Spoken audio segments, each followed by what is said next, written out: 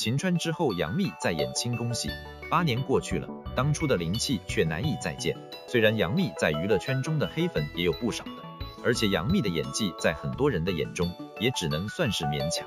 不过杨幂在演技方面是一般般，但在人气和流量方面确实十分的高，而且她本人经营艺人的能力也是挺强的。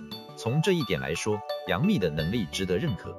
似乎在大家的印象中，杨幂主演的清宫剧。也就是宫锁心玉了。最重要的是，当初的杨幂虽然在演技上没有如今那么老练，但却是充满了灵气的感觉，这也是当初大家喜欢杨幂的一个原因。不得不说，在娱乐圈中闯荡了多年，杨幂再一次演清宫戏，已经难以再见当初演秦川时的灵气了，这也是无奈的变好吧。